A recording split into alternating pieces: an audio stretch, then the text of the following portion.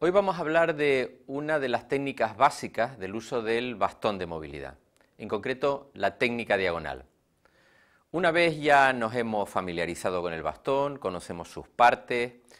el uso que tiene en términos generales, sabemos emplearnos en combinación con un guía, cosa que hemos tenido la oportunidad de ver en otro de los vídeos de la colección, se trata de incluir esta técnica que nos va a permitir no solamente protegernos, sino también integrar otra serie de aspectos dentro de lo que sería el proceso rehabilitatorio. Esencialmente elementos que tienen que ver con la orientación espacial, elementos que suponen una mayor autonomía, pero con sus limitaciones.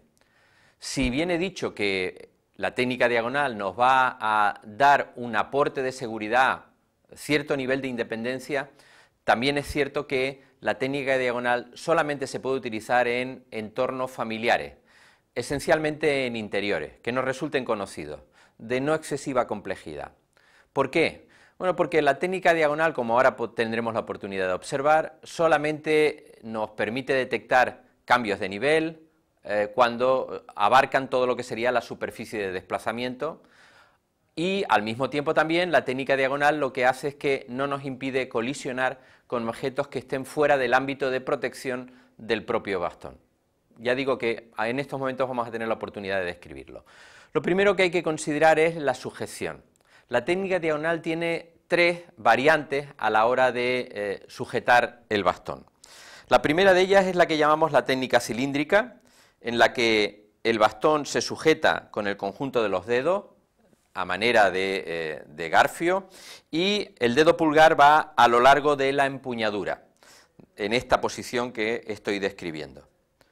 La segunda de las posiciones de sujeción es la estándar o la normal, en la que el dedo índice de la mano dominante, yo lo estoy utilizando con la izquierda porque es mi mano dominante, va a lo largo de lo que sería la caña del bastón, sujeto evidentemente por la empuñadura, y el, el, resto de los dedos sujetan el bastón en ese lugar, en la empuñadura. Esta sería la posición normal, estándar. Y luego está la posición de eh, pinza, también llamada de lápiz, en la que sujetamos el bastón por la empuñadura con el dedo índice y con el dedo pulgar, o en algunos casos lo que utilizamos es el dedo índice, el dedo medio e inclusive el dedo anular, por un lado y por otro lado el dedo pulgar para sujetar el bastón.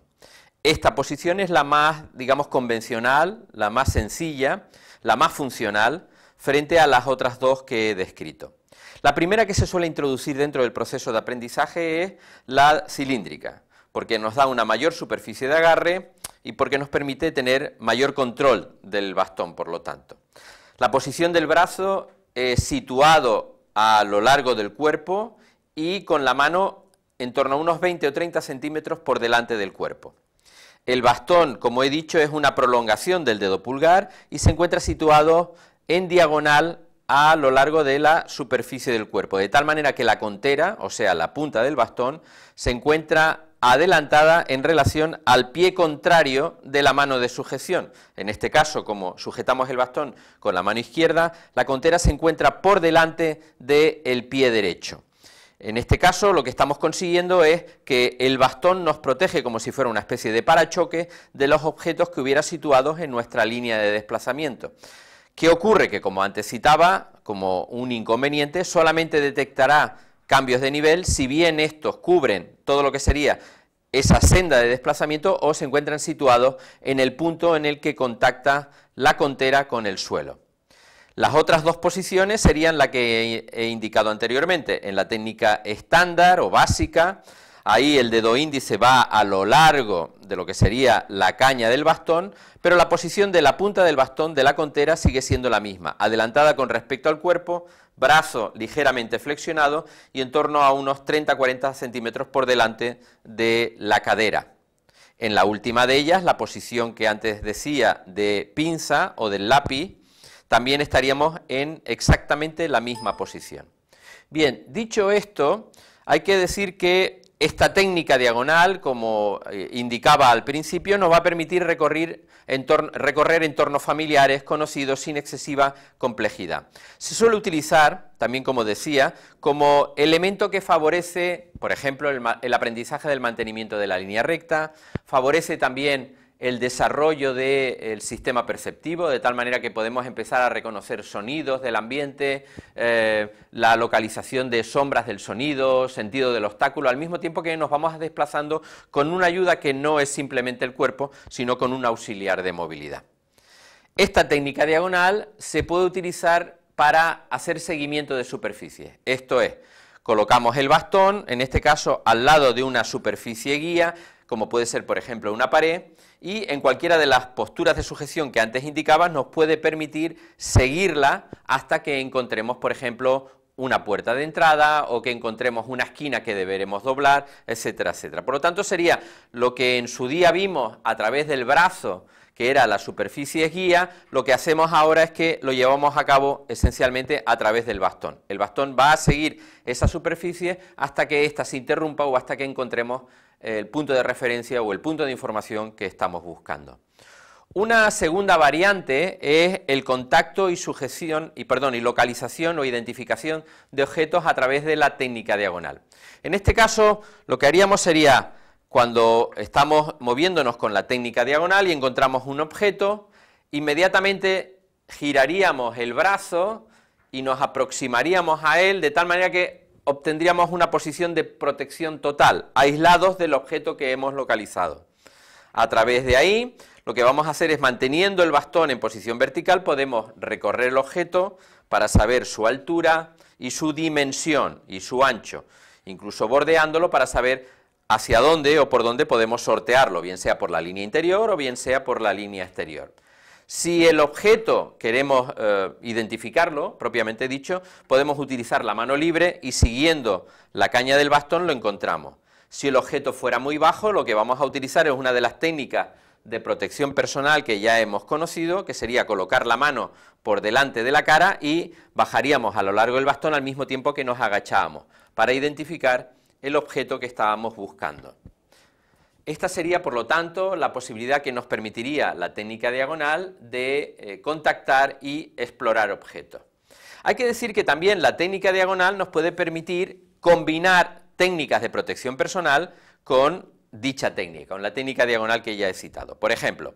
cuando en un momento determinado sabemos de la presencia siguiendo una superficie guía, que en este caso quedaría a nuestra derecha, porque la contera del bastón está situada a nuestro lado derecho, si sabemos de la presencia de un objeto en altura, como podría ser, por ejemplo, una caja adosada a la pared, o como podría ser un extintor que sobresale, utilizaríamos la técnica diagonal junto con una técnica de protección alta no sería necesario la técnica de protección baja porque el bastón nos cubriría de esos incidentes. También se puede utilizar cuando, por ejemplo, seguimos una superficie guía, ya digo, una pared que pudiera estar a nuestra derecha con el bastón, podríamos seguir esa pared al mismo tiempo con eh, la mano del lado libre para localizar un determinado objeto, como podría ser un interruptor, la empuñadura de una puerta, etcétera, etcétera. El uso de la técnica diagonal debe ser indistinto con ambas manos, cosa que no ocurre con el resto de las técnicas de uso del bastón. Quiere decir que si, por ejemplo, queremos seguir una superficie guía, dígase una pared que se encuentra a nuestro lado izquierdo, sujetaríamos el bastón con nuestra mano derecha. Si esa pared se encontrara al lado derecho, lo sujetaríamos con nuestra mano izquierda. Bien, en cuanto al proceso de enseñanza-aprendizaje, en este caso el, el, instructor debe en un primer instante mirar cuál es la posición corporal, tanto segmentaria como global, del alumno la posición de la mano, la posición del brazo en relación al cuerpo y la posición del bastón. Hay que decir que el bastón, en concreto la contera, puede tener dos maneras de contactar con el suelo. La primera sería una especie de contacto constante, quiere decir, todo el rato va la contera deslizándose a través del suelo o ligeramente levantada. Esta técnica diagonal, cito esto porque esta técnica diagonal suele ser utilizada prioritariamente por gente con baja visión, gente que mantiene un resto visual y quiere utilizar el bastón como un elemento simbólico de su situación de pérdida visual o porque solamente tiene problemas en determinadas condiciones. Por ejemplo, a la hora de detectar cambios de nivel, por lo tanto mantienen la técnica diagonal y cuando se aproximan al cruce de una calle o a la presencia de una escalera, deslizan el bastón hasta encontrar ese primer escalón que les va a permitir ya conocer la presencia de ese obstáculo en cuanto a cambio de nivel. También el instructor, dentro de ese proceso de enseñanza-aprendizaje, además de ver la posición global, corporal eh, y segmentaria, es conveniente que se sitúe frente al instruido y, por ejemplo, le vaya indicando con su voz como referencia auditiva que lo siga, de tal manera que podrá el alumno ir cogiendo seguridad y viendo cómo utiliza ese bastón.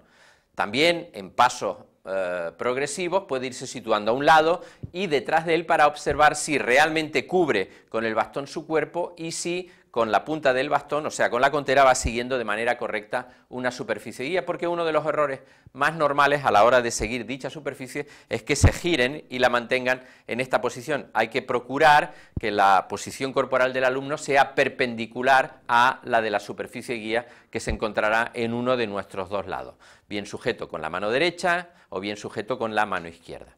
Este es, a grosso modo, eh, el uso de la técnica diagonal. Ya digo, es una técnica que es un primer paso en cuanto a la autonomía